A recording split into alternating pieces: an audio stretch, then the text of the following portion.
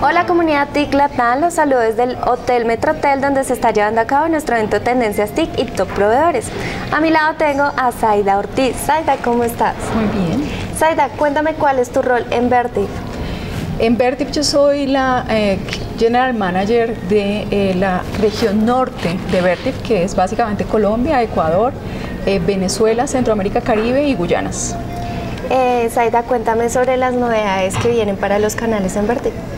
Bueno, eh, nosotros ya desde hace un par de años hemos venido implementando nuestro modelo de canales con mucho éxito y este año lo que pretendemos es justamente dar un mayor acompañamiento a nuestros canales en términos de tendencias en términos de edge computing, todo lo que tiene que ver con eh, definitivamente conceptos como el 5G, el big data, el small data, eh, y hacer un ejercicio mucho más próximo a ellos en términos de, de, venta consultiva para que ellos puedan atender a sus eh, red distribuidores o usuarios finales de manera que atendamos esa necesidad que tenemos tanto en la ciudad, en el país y definitivamente en el mundo en términos de conectividad e infraestructuras de emisión crítica.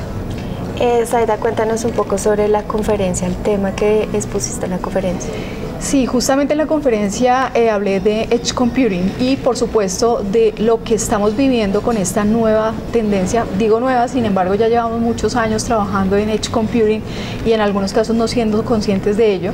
Nosotros hablamos de Edge Computing en, eh, la conferencia con el ánimo de acercar al, auditorio para que comprendan un poco el concepto, de qué se trata, eh, qué ha pasado, cuál ha sido la evolución en términos de cuatro variables básicamente, ancho de banda, latencia, seguridad, disponibilidad.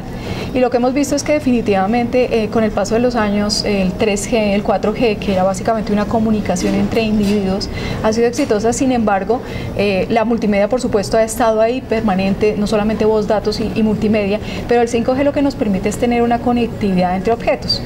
Y hoy nosotros tenemos en nuestra cotidianidad una serie de objetos desde nuestra nevera, que tiene que lanza datos eh, desde definitivamente algunos elementos adicionales algunos comunicadores y demás que por supuesto lanza los datos pero esto requiere un ejercicio de, de explotación de datos y por supuesto una infraestructura que esté muy cerca al borde de la red justamente para que sea muy fácil veloz y por supuesto con muy poca latencia de manera que si yo estoy comprando algo en el e-commerce o tengo alguna información de estos objetos pues sea muy fácil que nuestros micro data centers puedan responder a las necesidades que nosotros necesitamos para tomar decisiones.